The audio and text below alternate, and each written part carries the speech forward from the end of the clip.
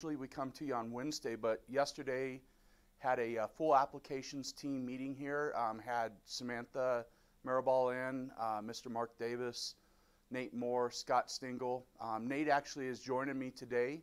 He's going to be my uh, kind of my video DJ. And today we're going to talk to you about hooping caps and digitizing for caps. Um, know that we just did this about a month or so ago, but this is a pretty advanced um, application that a lot of people um, have a tendency to struggle with. So we wanted to do another one, try to throw some more pointers out to answer some more questions on it, and also explore some different uh, um, types of embroidery methods that um, our placement methods that are going on in the industry and make sure that you guys have the tools to be able to handle um, what your customers are asking for. So once again, if you have questions on hooping caps or digitizing for caps, please post them in the comments and Nate and Scott will actually uh, be responding to those.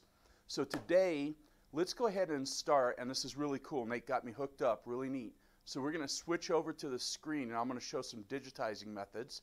So Nate, if we can do that, thank you. All right, so one of the methods that I wanted to first talk to you about is actually um, placement of a design where it's not in the center seam of the cap. So this, uh, this red crosshair would represent kind of the, the center of a cap. And in some cases, um, there's a lot of popularity on doing embroidery like over a panel. And typically it's the, uh, as you're wearing the cap, it's the right panel, or if you're looking at the cap, it would be the left panel. And I'll show you an example of that here in a minute. But we want to take this flag and we actually want to place that so that when we sew it on the machine, it's actually in the right place and we're not having to find anything other than the center of the seam of the cap. So we would take and put the laser on that position and we would be good to go. So the first thing I'm going to do is I'm going to go ahead and take and flip the cap. Um, I like to use the mirroring, so I'll click on horizontal mirroring and then vertical mirroring and that will take and um, position that design upside down so that when we send it to the ma machine, we don't have to rotate that design around. So I'm going to take and position this over the left panel as I'm looking at the hat. So the bill of the hat would be up here towards the top of the screen. And so I'm going to take and position that where I believe it would make sense. Um, and for a minute here, um, Nate, if we could pop back to a, a screen uh, so I can show a hat. And so what I'm going to do is, this is kind of what I'm talking about is where the embroidery is over, as the wearer, it's over the right panel, um, but as I look at it, it's on the left panel. Um, what I want to do is I want to take and use this handy little uh, uh, tailor's tape that Nate let me borrow, and I'm trying to do it as I show you. But I want to find the center of this design, um, and it would be for the flag in the case of what I'm doing in Design Shop. So I want to come over, in this case it's about two inches from the center seam. So what that allowed me to do is as I put the hat onto the machine, instead of trying to have to find where the center of that panel is, all I have to do is put the laser um, just barely off the center seam. As always, because the laser comes in from a side, we want to position that over just a little bit where the needle is centered right down that seam. what will happen is when I press start, then the machine will move over and position that design exactly where I want it to be. So once again, let me back up. I'm going to take and measure over how far I want that to be over on the panel. If I look at the whole panel, that whole panel is about three and three quarter inches. Oh, sorry. Three and three quarter inches. So I'm measuring it with a tape. Um, tailor's tape is really good to have so it bends and flexes with the, the garment or the hat that you're doing. And so if I want that to be in the center, I could divide three and three quarters. Um, let's see if I can do that in my head. one and half plus and eight, so what are we at? One and five sixteenths, I believe it is. No, nine sixteenths. One and one inch and nine sixteenths over. Um, so then let's switch back over to Design Shop.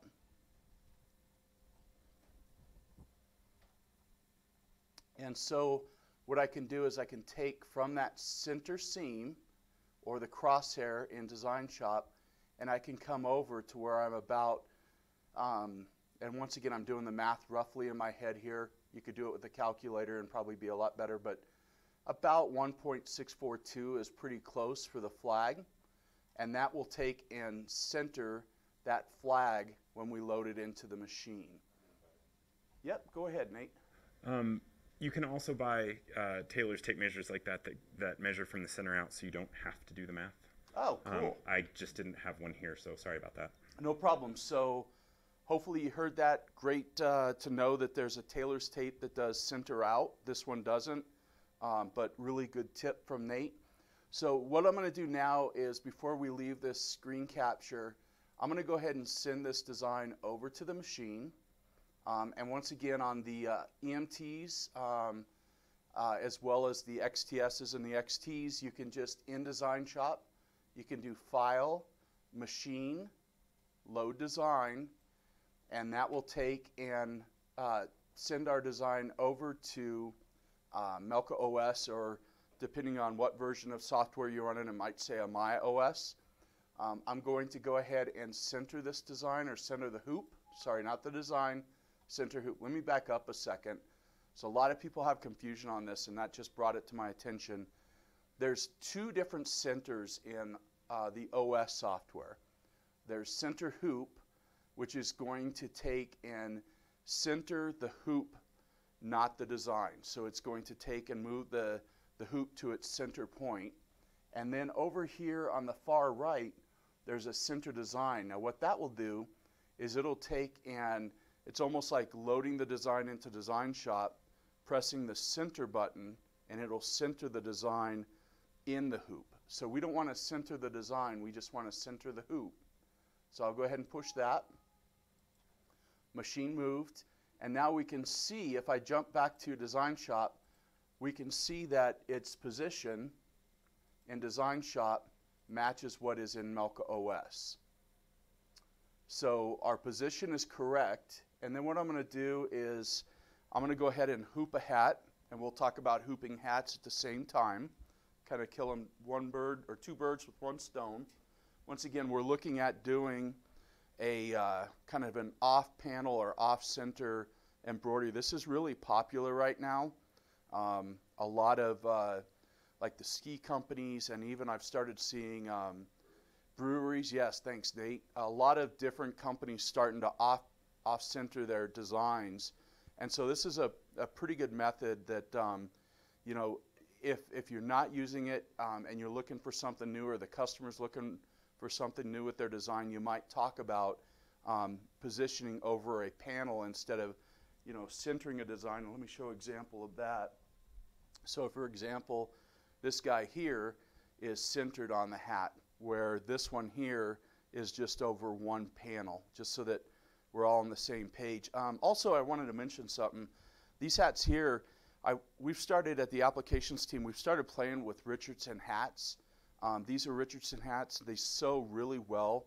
The nice thing about the Richardson hats is they're actually very consistent from hat to hat.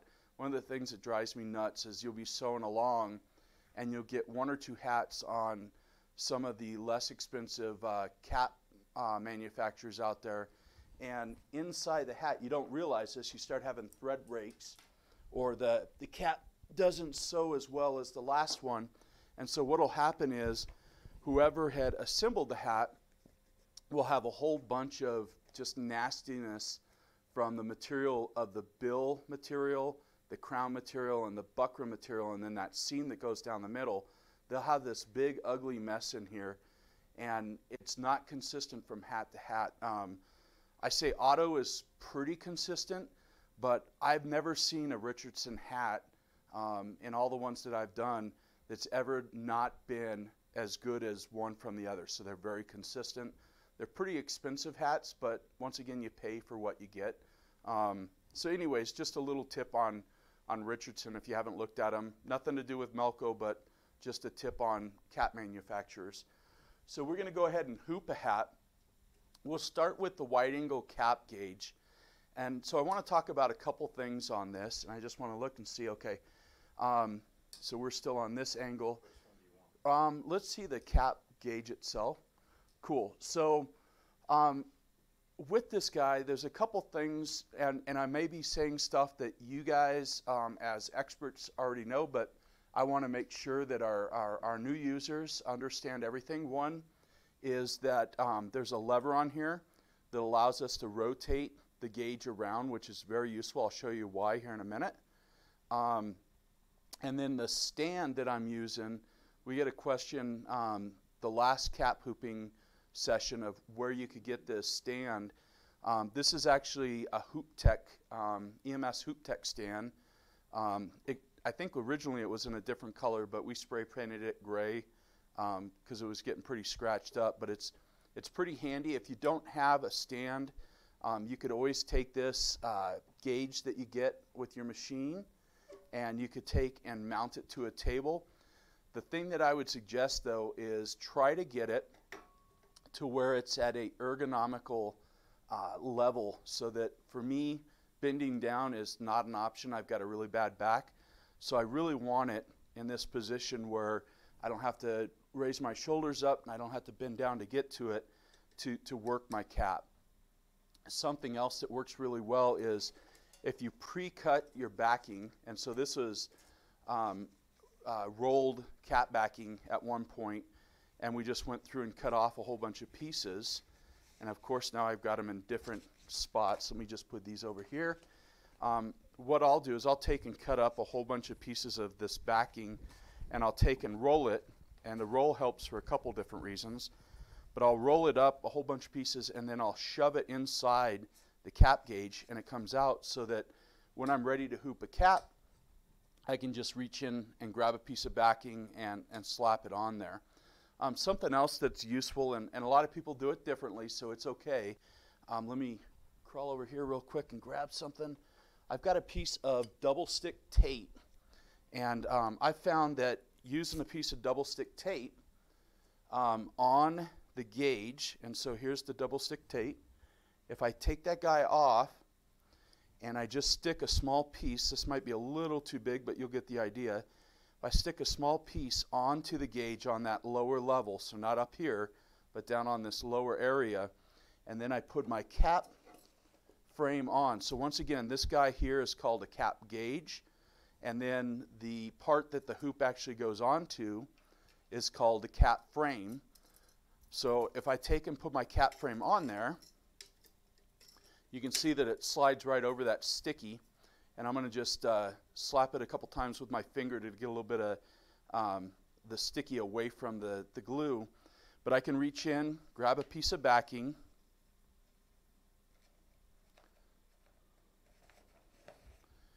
and then what that does is I can kind of get the backing in place and just tap on that, uh, on that um, carpet tape to hold it in place. So instead of having to put clips on it, which is a good idea. Some people like to do that. Not a bad idea at all. Um, uh, and everybody's got a different method, so this is just the method I'm trying to show you. Without that tape on there, what happens is the, the backing wants to move on you. So some way you need to kind of temporarily secure the, um, the backing on there. Um, so that's a suggestion on there. Um, if we could go back to the main camera for a minute. Um, so inside of a cap, you'll typically find some cardboard that holds the, uh, the crown. So this is the crown of the hat um, that, that the manufacturer of the cap puts in. Um, some people I've seen sew through this. I would suggest not doing that, and, and let me give you the reason why. Um, and once again, it's all, uh, yeah, it's, it's all something that some people will disagree with me to the, to the time the moon comes up, but this, when you sew through it, it has a tendency to just cause a lot of extra gunk that builds up down into the hook area um, and just causes a lot more extra fuzz, if you want to call it that, not a technical term, but fuzz down in that area. So I Also, wouldn't. That yeah. one, uh, if you look at it, it is there and not there and there and Yeah. not there, and I can't even begin to imagine sewing through that. Yeah, so Yeah, thanks, Nate. That's a good point. I'm, I mean, some of them are solid. Let me see if I can find a cap that's got it. That, yeah. So this one here has got a solid piece in it, but still, if I take and um, if I take and tear this, you can see the fuzzy. Oh. Yeah, let me see. I'll just walk up against the camera here and see if that. Yeah, there you go. You can also hold it against that spot. But you can see how fuzzy this stuff is. So every time the needle will go in there, the, the paper of the cardboard is just going to explode every single time and just leave a lot of uh, unnecessary fuzz around your machine. So I would not sew through this. Some people say this is better than sewing through the, um, the cap backing. Some people don't sew through cap backing. They won't put cap backing in here. And so let's talk about that for a minute before I move on. Um, the reason that I always put uh, backing, cap backing down, no matter what the cap is, structured or unstructured, is in the case of structured hats, this buckram back here um, can be very, very aggressive. And so when we take and sew, the thread on the average stitch is going to pass through the eye of the needle about 30 times. So it's going to go back and forth through the needle to go down, make the loop with the, uh, the hook um, and the bobbin thread. And then the take up lever is going to pull it up. And so that's going to go down through the eye of the needle and then back up. So if we don't have that backing there, it's going to take and rub against that aggressive uh, buckram, the structure of the crown of the hat, and can cause that thread to almost um, start shredding on you. Uh, what we call a shred break, where it looks like a like one of those old uh, weevily worms that kind of fuzz up the, the needle. So I always suggest that you use a piece of backing, no matter what kind of hat it is, just so that you don't have that problem of where the thread starts to shred. I'm scattered enough that I will use backing uh, as insurance. Uh, if I sew it in the wrong color or something, I have something to cut against instead of cutting against the fabric or the garment, and I, I just don't want to do that. So I always use it for insurance. Um, yeah, and it, it just makes a cleaner stitch. Ah, that's a good point. I'd never thought of it that way, but yeah. So what Nate's talking about, if you if, if you've never made a mistake sewing, it will happen Good to you eventually. you. Yeah, you're you're the first one. Congratulations. Go play the lotto tonight. Um, but you can use like a, uh, a flat blade ra- uh, razor or what's it called, a Peggy stitch eraser, um, and you can take and cut a mistake off. But if you don't have backing against it, you're cutting that against the material, and eventually you're going to cut through that material and, and ruin the product anyway. So, yeah, it's a, that's a good point, Nate. Awesome. So now um, the other thing is, is I'm going to have Nate post two documents in this Facebook Live session. One is going to be on digitizing. Um, we're going to touch a little bit on placement on Design Shop, but we're really not going to hit digitizing for a cap. Digitizing for a cap is really important. You're not going to want to take um, a stock design um, and shrink it down and put on a hat. Um, so read the document. Uh, it'll look like something like this on the front page. Um, so it'll also talk about, you know, how large um, a design can be based off of the cap itself. Really good read. Uh, Scott Stingle wrote this, I believe, did a great job on it. Check it out. Um, or this might have been Nate, I can't remember. One of the guys in the applications team wrote it. Um, but really good read on how to digitize for it. Again, if you've got questions on it, post. Um, I'm going to make a shout out that we haven't made for a while. Um, for the love of Melco, um, there's a great users group on Facebook called For the Love of Melco Embroidery Machines. Great, great people on there that will, if you've got questions and Melco's um, not available or you want to get another opinion, jump on that Facebook, become uh, part of the group, and ask them. And they're really, really awesome about getting back to you. A very positive group. Um, there's not a lot of trash talk going on there. They're just wonderful people. So, how to digitize. Also, there's a second document on how to hoop. Um, uh, this is not on the FAQ, but we'll get it up there. That's a good point. I was gonna say that's the only way I can do it. So I got the digitizing one up, but I Okay, so we'll get this on the FAQ ASAP. Too many acronyms? Okay. Um, so we'll get this up there and we'll post a link later. Um, this will also be, I think it's Impressions Magazine. It's going to be uh, um, putting this out um, here pretty soon uh, as a article. So yeah, so this one will be out there too, but we'll get it up on the FAQ and get the link to you. So, anyways, I'm going to just kind of cover some of those things as we talk. Every cap, for the most part, has some kind of bend to the bill, or if it's a skater's cap, like this Richardson hat, it doesn't, which is really nice. You can you can post bend the mark after that. But what I like to do is before I get it onto the hat, first pull that cardboard out because we don't want to sew through it. Next, I want to take and flatten that bill out as best as I can. And the reason for that is we've got a cap that has an arch here and we're going to try to sew it like a cylinder. So think of a soup can and we're going to take and roll that soup can back and forth and forward and back to put embroidery on it. But a cap is actually a sphere with an arc like the globe. Um, it's round on the top as well as round being on the side to side. Plus, we have the crown or the uh, bill of the hat is arch. So I'm trying to get rid of some of all this archiness by flattening that out. It also gives me the ability to get if I have like a line of text or if the design is uh, you know more flat on the bottom, that I can get a chance that it's not crooked one way or the other. Because if I leave the arch in it, does the arch start on this side of the, the seam? Does it start on this side? Is it even on both sides? Where if I had that bill flat, that's why you get that really nice look. So really important to flatten that bill out. I see a giggle over here.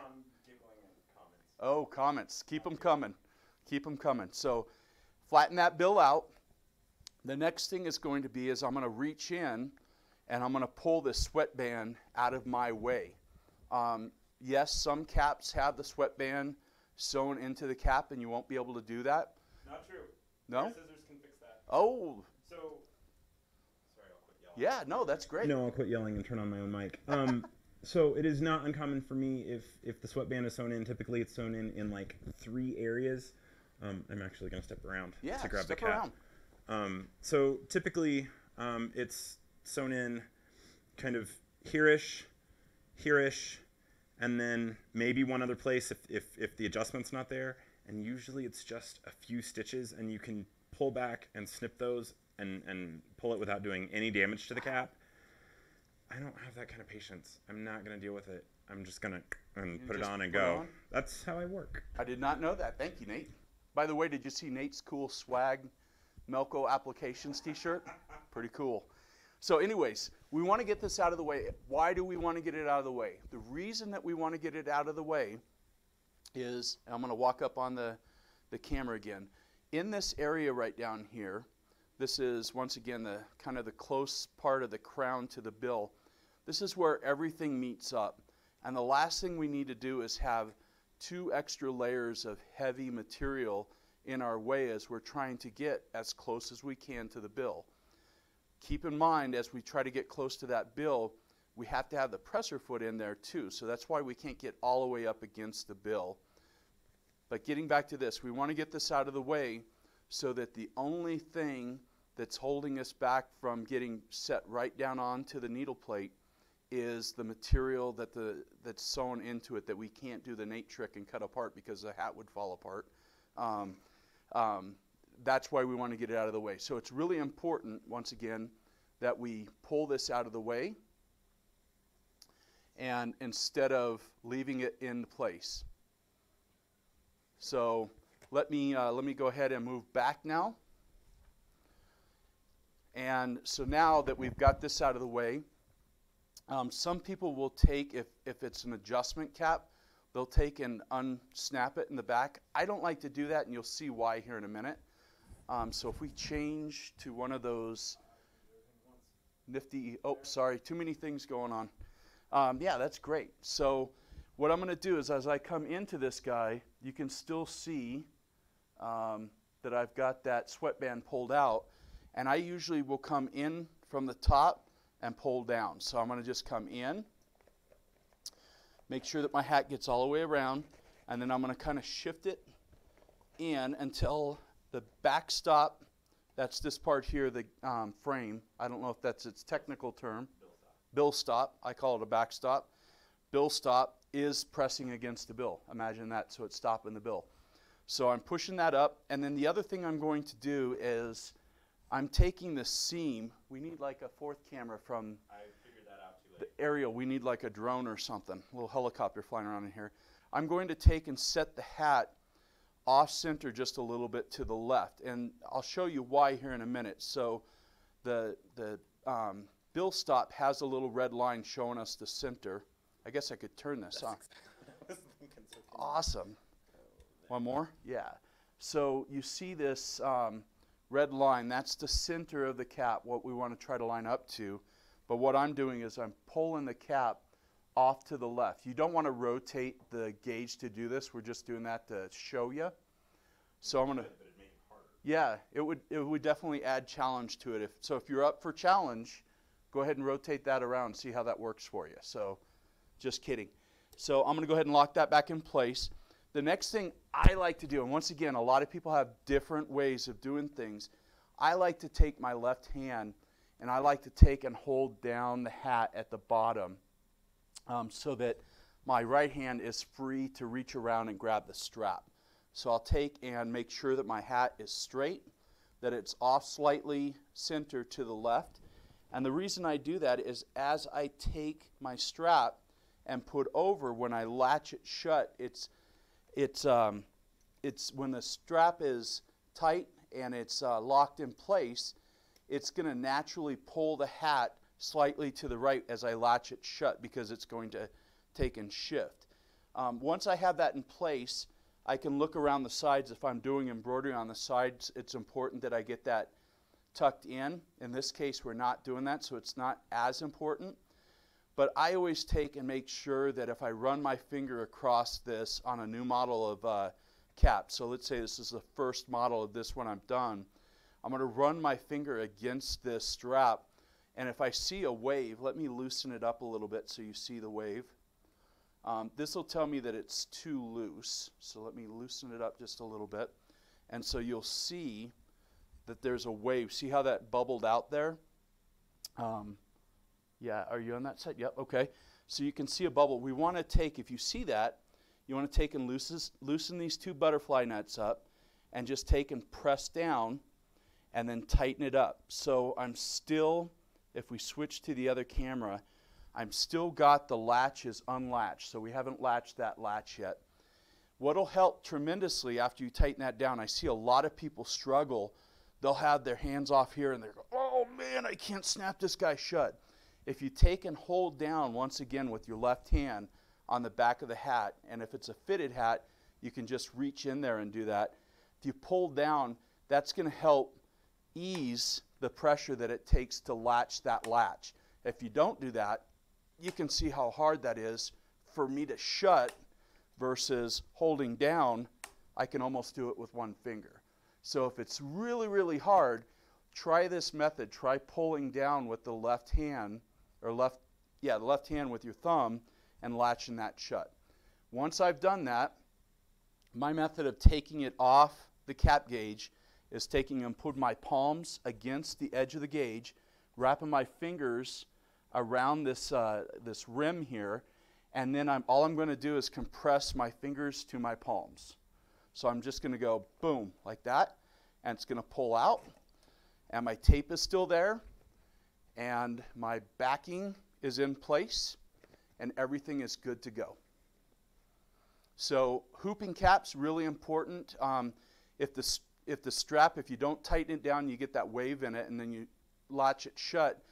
The cap is going to have a chance to move. You know, we're the only thing literally that we're holding the cap in place with on the wide angle frame is the strap, and then if we use the clips on the side, these two points in the back. So if if that strap is loose, it's it's like having a hoop when we're hooping flat material it's like hooping it really, really loose and expecting to get perfect registration out of our embroidery. It's not going to happen. We're going to get poor quality stitches. We're going to get thread breaks, possibly needle breaks. Um, just craziness is going to happen. Cats will start sleeping with dogs. It'll be a horrible rule. So tighten up their straps and and sew good hat quality. Okay. Um, once we're done with that, to put it onto the machine, um, and I know I didn't have this uh, ready, so Nate's going to do some quick camera movement for me. Um, we're going to talk about how to put it onto the machine. Um, sounds simple, but I've seen so many people struggle with this. Um, they'll come up and they'll try to, um, we're going to change this camera angle. There we go. Thank you, Nate. They'll come in, they'll try to get, and it's like the machine's in the way. So just take and turn the bill to one side or the other. In this case, we'll turn it this way so you guys can see it. I'll turn it like that, and then once it gets past the needle case and the grabber, then I can take and turn it up. And then if you just start sliding it, you'll feel it hit the grooves. And let me show you what I'm talking about grooves. There's some notches right in here. See if I can do this. This is pretty difficult, guys. Um, there's these two notches right here that as I pull back out, there's two little um, pinchers here and then one down here that uh, clamp in that hold the cap in place. So once again, just turn the cap sideways, slide it until you feel that groove hit, and then I'm going to do just the opposite of what I did with the gauge. So I'm going to use my um, thumbs on the rim, um, on that uh, rim of that uh, cap uh, frame, and I'm to put my fingers on the back of the driver. Now, let me back up a second. This red thing here, this is called the cap driver. So I'm going to take and put it on. I'm going to put my thumbs on there to my fingers, and then I'm going to just take and collapse my fingers shut.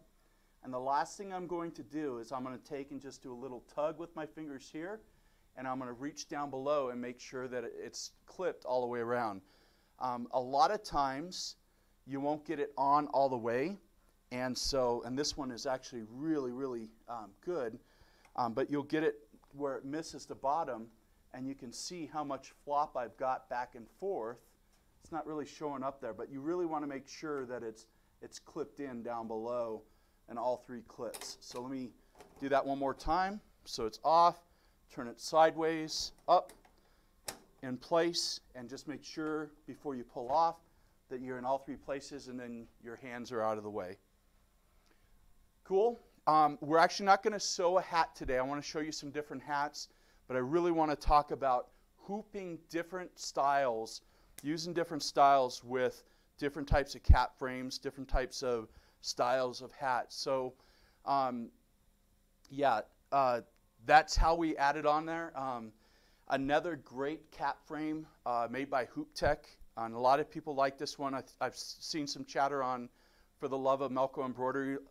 A lot of people love it. Lot, some people hate it. Um, but this is called the Gen 2 EMS Hoop Tech.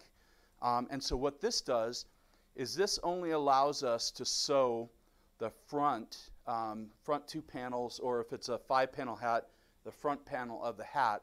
Um, but what it does is instead of just holding it down below like the wide angle cap frame does, it actually has, let me open it up, it's got some claws that come up on either side. So it's, hand, uh, it's clamping it down on the bottom between the bill and the crown and also on the sides of the crown up front. So it's holding it in two or three different places, bottom, left, and right. And then when you close this guy, it actually will take and it'll deflect the, the bill down so that it, it's not up and in your way. So if you're only doing fronts of caps all the time, never doing um, sides, um, a lot of people like this. Uh, I am myself not a fan of this because I grew up using the wide angle cap frame and I've taught myself how to do everything with it. Um, but I can tell you there's a lot of people that swear up and down by this. So um, if you've not seen one, um, get to a show and check them out. They're really cool. Um, so there, has been a request if you have a moment, can you hoop an unstructured and use the clips? Yeah. Yeah, absolutely. Great request. Who'd that request come from? I don't know. Well, thank you for the request. Cheryl. Cheryl, thank you for the request. So, on unstructured hats. Let me just open this guy up. The difference that I would do is I would actually use two pieces of uh, the cap tearaway backing. And what I would do is I would have one piece down on the hat uh, or on the gauge and the frame like we did before. So I would treat it just like I treat a, a structured hat. But the other thing I would do is I would want to, I want to trick the machine into thinking that this is a structured hat while I'm sewing it. And the reason for that is as we look at this, you can see how much flop is in this hat. So even if I'm holding it with the strap really tight here, look how much wobble I've got up here. So I would want to take another piece of the tearaway backing, and let me just tear a little piece of this guy off. Um, and I would take, and I don't know that we have spray adhesive in here, and it'll really smell great in here. Nate will love me for this, but I would take, and let me just do it. Let me grab that spray adhesive.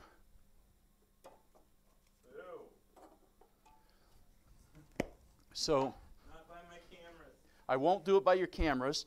Um, I'll try to do it closer to the floor. But I would take and put some light um, fabric slash embroidery adhesive. Please do not use 3M adhesive um, or the heavy duty spray adhesive. You'll gum up your needles and your machine really, really fast. So make sure that it is embroidery slash fabric adhesive. So once I have that done, all I'm going to do is um, take and flatten out my bill again. I'm going to take and put this in and make the cap into a structured cap while we sew it. And then I'll take and tear all that out once I'm done. But I'll show you why once I get done with it. You'll have to work um, your hand back and forth a little bit just to get some of the wrinkles out so that you don't have wrinkles like uh, what I had right there. And just work that guy around until you get it all in right place. Structured, unstructured hats are not the greatest thing, but if it's requested, you want to be able to do them, right? So with that in place, you can see that we have a whole lot more rigidity on the hat. So all of a sudden, our unstructured hat is going to sew like a structured hat. So we're not going to have as much registration issues or um, movement of the design because the hat is flopping back and forth. When, when you're using uh, large pieces of backing for the 270 degree frame and you're only sewing in the middle, you have those sides. Those sides are great for just what he just did. I throw them in a pile and that's what I use them for. I use them either use them for that or for cuff monograms or things like that. So don't pitch those sides. Um, this is a great use for it. Yeah. And pay no attention to the man in front of the camera. Listen to the man behind the camera. Unstructured hats are just fine. I do them all the time. Once again, everybody's got an opinion. I so, but really, um, you want if you do unstructured hats, you want to make the machine sew like a structured hat. If you want to get that good quality look, use a piece of um, tearaway backing in there adhere it to the cap, and then take and put a secondary piece of cap backing down on the gauge in the frame, and then we'll go ahead and bring it in, just like we did the structured hat. And I'm going to just make sure that I am off a little bit to the left again, so when I reach around with my right hand and I snap this down, that we have that uh, centered correctly. And so let me get around there. There we go. Um, and I missed this side. Let me get that out of there. Let me pull this in a little bit. There we go. Um, once we have that in place, uh, once again, I'm going to check to see because it's a new cap and I'm getting a little bit of wave, so I'm going to tighten it down. I wouldn't do this every single cap of a same style, but if it's a new style cap, like we went from the Richardson to this unstructured, I would go ahead and check that, um, that strap before you click it down and make sure that it's as taut um, and it doesn't have that wave in it. Once you've done that, once again, I'm going to pull down from the bottom. I'm going to snap it shut. And then if I'm going to add the clips to it, I'm going to take and just hold on with my left hand. Right hand, I'm going to push that clip down. I'm going to rotate it up so I can get to the back So much smarter than the way I do it. and I'm just going to add my clips to it. I'm going to pull one side tight Everybody's got a different method, right, Nate? Yours is better than mine. Well, that's the first.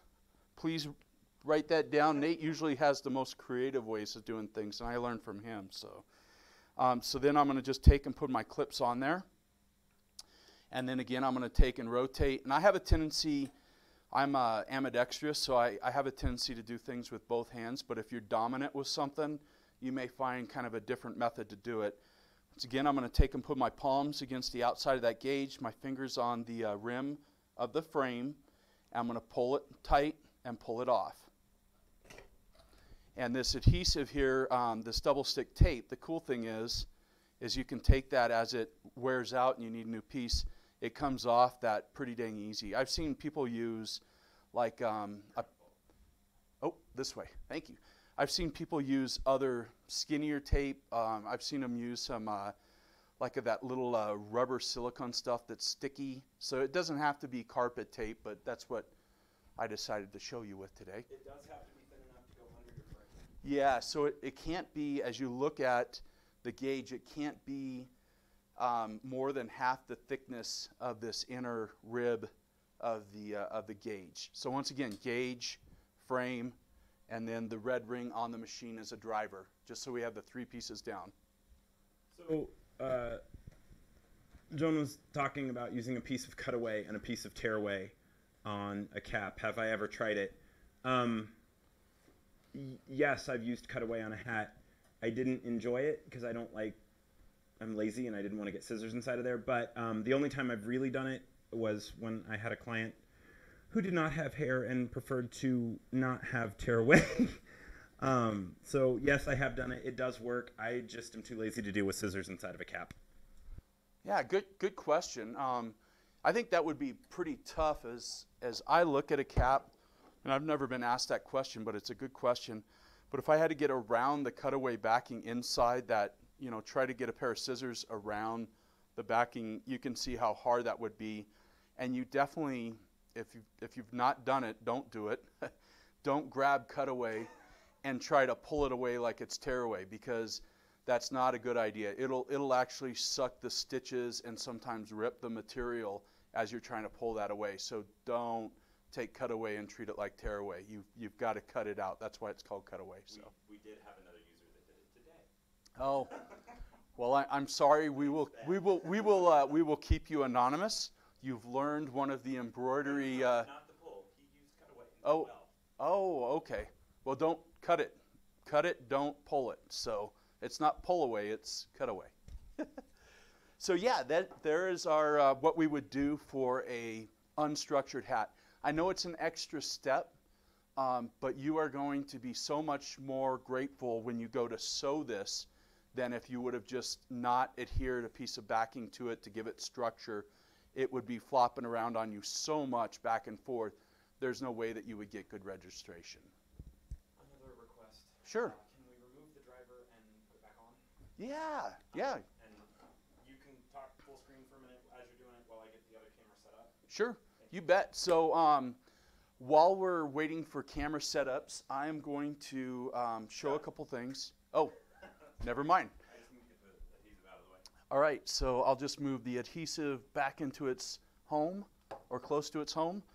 And so when removing the um, driver from the machine or putting the driver onto the machine, um, you're going to use the inner hole on the pantograph unit. So there's four holes on the pantograph unit. It's going to line up there. What I do is when I, and when, there's four on each side. Yes, good point, Nate. So the inner of the four. Um, and when you take the hoop arms off, and let me just grab one so everybody knows what I'm talking about. These are the hoop arms. Typically, they're on the machine um, when you're doing flats. When you take those off, it uses two of the uh, thumb screws. What I do is um, where the cap driver, back up, cap driver only uses one on either side. We use two on either side. I take the spare one so I don't lose them and I take and screw into the outer port of the, uh, um, of the pantograph so that I'm not scrambling trying to find what the heck I did with the screw. So again, much smarter than me than trying to be on hands and knees finding it under the machine. well, that's two for the day. I, I need to go home. That's it. So Um, no. So once we have that, um, I will take and let me get the Allen wrench for this. Um, never over tighten your thumb screws. Um, once again, this is one of those things that a lot of us have done and wish we hadn't have. But the thumb screws only need to be taut; they don't need to be tight.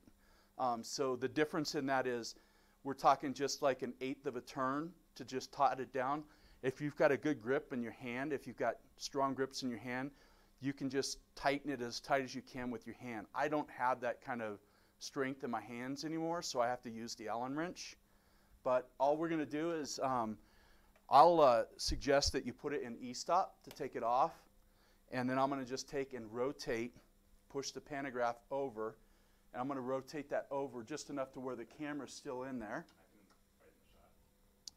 And I'm going to just reach in and loosen that bolt up. I'll just take it out. In this case, I'm going to Just so you understand, those screws are manufactured to break before they damage your machine. Yep. So if you're you're mad that it broke, um, it, it's much better to break that than your machine.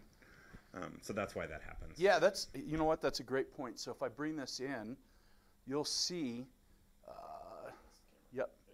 Um, you'll see right here in this area, there's actually a break point that if you over tighten, like Nate was saying, if you over tighten these and you're like Hercules tightening down these screws, instead of stripping out the pantograph unit and having to have a tech possibly come out to replace that pantograph unit, this part would bust off and you can take a pair of like vice grips, um, like a pair of pliers, and grab the bottom of the screw and unscrew it out. It's not the easiest thing to do, but it is possible, and you don't have to have a tech do it. The most important thing is, is if you use an Allen wrench, and let me just put this on here, um, and you're going down, you're going to tighten it down.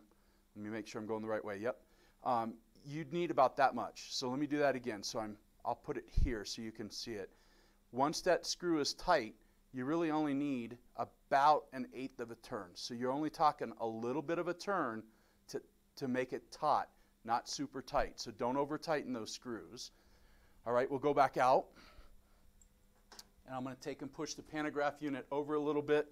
Once again, I don't bend very well anymore, so I want it to be in my position. And I just take and unscrew this other screw. And then I'm going to take and just grab the driver and I'm going to slide it off. And then as I come off, I'm going to take and angle it back a little bit so that I get under the grabber. And that's how I take it off. Typically, if I was doing sewing with something that is normal flat sewing, I would take a cloth and just wipe this uh, driver shaft off, and I would leave this shaft on. I, I don't want to leave the grease on it because I don't want that residue to come off onto a garment. Oil yeah, oil, sorry. Thank you, Nate. Mike Doe using the wrong terminology. The oil that's on here, we don't put grease on here. Oil, oil. Um, I would wipe that down so it doesn't come off onto a customer's product or my product, and then I would just put my hoop arms on. So to put it back on. And then when you put it back on, you re-oil it. Yeah, so there's um, two types of blocks that that shaft goes into. So we're talking about this shaft here going into this hole here. And so if your um, if the shaft or the, the block that it goes into has a brass color on the outside, um, you'll want to take and oil it. You'll want to take and, after you get it on, put a little bit of oil in front of it and then just move the, uh, the frame forward and back, and I'll show that to you here in a minute. But if yours uh, has bearings in it, little rollers inside of it, instead of just solid brass, um, uh, you do not want to oil that. It's, it's self-oiled and you don't need to put oil in there. You do want to clean the shaft um, because it will leave residue and it'll pick up lint and stuff, so definitely do that. But if, if yours is brass like this, take and oil it, and I'll show you how to move it back and forth. Any questions before I put it back on? Uh, yeah, I'm going to actually step in. Yep. If I turn on my mic. Here comes Nate. Um, so one of the other questions while this was off um, was about the maintenance for this, and I realize I'm kind of all over the place. But Let me move out of your way. um, so this maintenance is one thing, and then it's been a while since I wrote it. I think it's about yearly. You'll want to maintain the driver itself, and to do that, you just take it off the machine, you slide it, you clean any lint and gunk out of Maybe these areas in here. I use a. I don't use linty stuff. Oh, okay. So I try to I wad up non-linting fabric and um, Like broadcloth or something. like broadcloth. I also will use like a like an orange peel stick or a chopstick. Put it inside the the fabric to get into those grooves a little bit more. Come down there and then you reapply the grease. Um, and then I do it again on the other side, and then just run it back and forth. Make sure you're not going to drip anything on. Like, don't go Over crazy with it. the grease. Gotcha. Um, but uh, you can see this one isn't uh, a colored grease, but you can see if I get the shine just right, you can see a little bit of, of that line of grease. So that's all you're doing is cleaning that up um, as you go, as you create lint, as you do all of that. It's just going to get kind of linty and gross. So you just want to clean that out and then re-grease it. Um, and all of that is in the user manual um, as far as what kind of grease, how much, where, all of that is Oh, in cool. there. So just I'm going to get So out your way. So that's you can in the operator's manual? Uh-huh. Awesome. And so if I wanted to find that, if I did a search for it, would that be just like cap driver maintenance, do you think? Probably. What, what we'll do is we'll take and uh, I'll have Nate look that up when we're done, and I'll have him put a comment of where you can find it in the operator's manual. Scott may have already done it. Or Scott, Scott's on there. Maybe, uh, maybe we can just say, you know, what the search term is or what it's under. That would be great, Scott. Thank you. Um, so, yeah, maintaining the driver is really important. Um, this guy goes back and forth a lot and forward and back. So, we always think about oiling this guy for forward and back, and that was great. Whoever asked that question about the maintenance on this, or if they just thought of it, great. No, it was down there. I just can't scroll fast enough. Okay. Well, whoever it was, great thought. Thank you for that. Um, the other thing that Melco is actually going to be talking about soon is this cable here. Um, and we're finding that this cable can start, uh, will loosen up a little bit on you. Um, and there's a way to tighten it. So we're going to write a procedure. Um, you should see it probably in the next month or so on how to tighten this cable.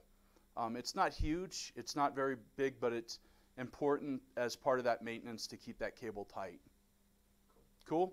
So then we've talked about that. Um, I would not put oil on the shaft yet. I, I don't like to do that. I'll take and put this back on there. Once again, careful that you don't catch the needles or the grabber. The grabber. Yeah, you could close the grabber if you wanted to. Yep. Yep, you could close the grabber for sure. It was out of the way. I know you were stressing on that. I was really stressing because my angle looked bad. Yep, no, I was I was clear of it. I've done that before. Um, so once I have it on, um, before I do anything of oil in the shaft, I'm going to go ahead and find that inner hole on either side. And I, what I do is I'll put a screw in there, and I'll use my fingers as kind of my locator. Um, once again, because I don't bend very well, I'll do that. And once I find that spot, I'll just go ahead and start that screw. I won't tighten that screw completely down yet. That's exactly what I was gonna say. I Yep. if if I tighten one, I cannot like I don't know why, but I can't do the other one. So I start one and then go start the other, and then I tighten them down. Yep, good, good point, Nate. So same thing over here. Um, I'm gonna just go ahead and once again move this over a little bit. I'm in E-stop right now. Um, E-stop is that round button on the keypad. You can just push it in, and then you can freely move the uh, the pantograph. So once I have them in, once again because I don't have a great grip on my um, with my strength of my hands, I'll take and I'll put my Allen um, wrench on there, and I will just lightly, about an eighth of a turn, the twist, to tighten it, uh, or taut it, not tighten it. Uh, don't over tight it. So I don't know if that's a word. so uh, once I'm done, I'm going to just take and I'll have uh, Nate come out so everybody knows where the e-stop is. And we'll just talk about that momentarily. So the e-stop is this round button on the keypad. Yep. We're going to zoom in. Camera one, camera two. so here we are. So this is the e-stop. So to engage it, you push it in, and you'll see, I don't know if you can see this or not. Yeah, you can sort of see it. See the light is green, and when I press it in, the light turns red. So to engage it, you press in, and then see the arrows You just have to lightly rotate it to the right, and it pops out. The light turns back green, um, and that's engaging and disengaging your e-stop button. Um, that helps a lot if you need to get underneath it um, and move the pantograph uh, around. Um, yeah, and so now what I would do is I would take and get my oiler, and let me see if I can find my oiler in this room. Is it right behind me? No, right. It moved. Yeah, they last time they had it hidden in here for me. There it is. Um, so I would take my oiler, uh, and I would take and just right against this this brass block, I would just take and just be generous with the oil there. You don't have to be conservative. And then I'm going to take and push the hoop button, the frame button, and I'm going to push the up button, and it's going to move out. And then at the same time, I'm going to go behind it, which you won't be able to see because we don't have it behind the machine cam. I want to mention something Yep. that I think we forgot. I don't remember, but it's so important. If we did, I want to say it twice. Make sure that you select the wide angle cap frame in your software before loading it and, Oh. and center the hoop before you load the driver, all that kind of stuff. Let's, um, you know what? Let's uh, shelf that and come back. So I got this guy oiled. All I'm going to do is take and move the uh, um, uh, the driver back and forth by pushing the frame up and down, um, and just really get that oil in there. Um, if you see an excessive amount of chatter where the driver is bouncing back and forth, in the manual there's information on how to um, adjust the cap driver to the machine. We don't want to see the driver skipping um, or stuttering across there. It should smoothly move back and forth on that um, that shaft down below. And that adjustment process sounds scary, but it's not. It's No. not at all. No, it's not scary. Um, it it is Nate or Mike Doe worthy of being able to do without without getting a cool technician like Samantha involved or Mark Davis. So or any of you other cool technicians. So let's bounce back to the screen for a minute, Nate. Which one? The screen capture. Sorry. Oops. There you go. Cool. So what Nate was talking about is before you take and put the red, um, your wide angle cap driver on the machine, make sure that you select this red WACF, or if you're super old school with some of our really cool legacy equipment, it may say graphite WACF, I think it is, or gray or something like that. It says graphite, and and that's not the color of the frame. That is the color of the driver.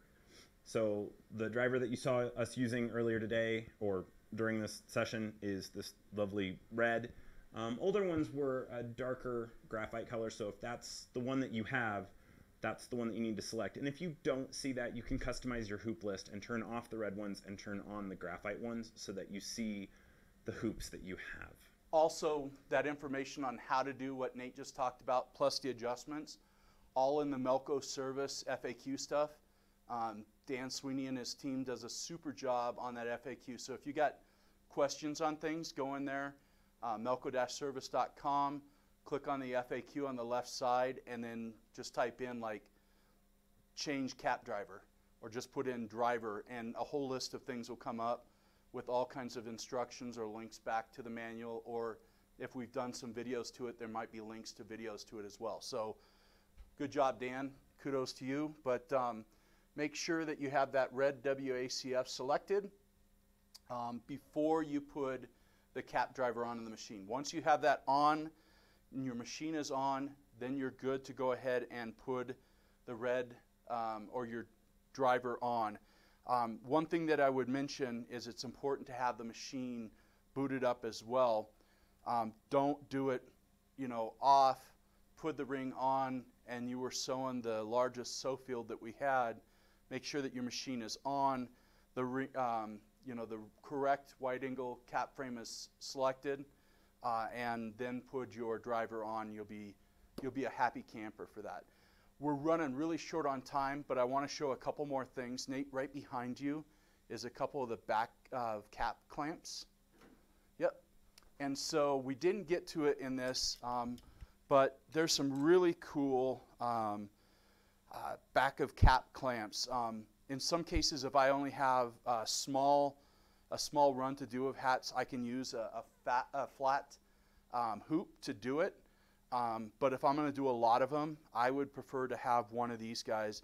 And what we'll do is we'll earmark this as an, another video is um, sewing on like the sides of caps, the back of cap.